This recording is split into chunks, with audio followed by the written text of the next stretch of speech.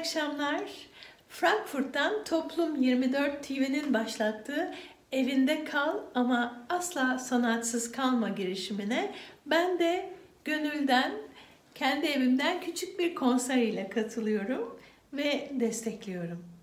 Hepinize sağlıklı, güzel günler dilerim.